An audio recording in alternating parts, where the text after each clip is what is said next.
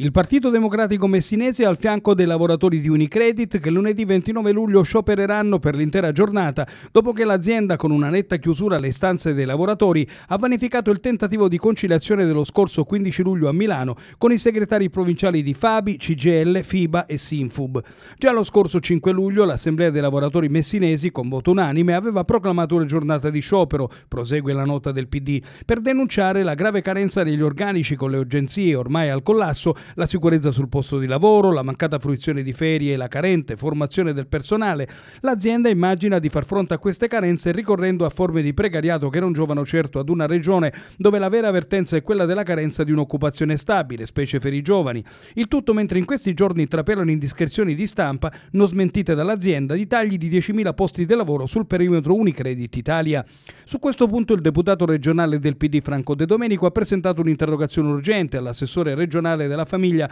e delle politiche del lavoro Antonio Scavone per sapere come si vuole muovere la Regione in questa avvertenza, garantendo condizioni di lavoro accettabili ed incrementare l'occupazione stabile in Sicilia, contrastando con determinazione la deriva occupazionale anche nel settore bancario che privilegia forme di precariato.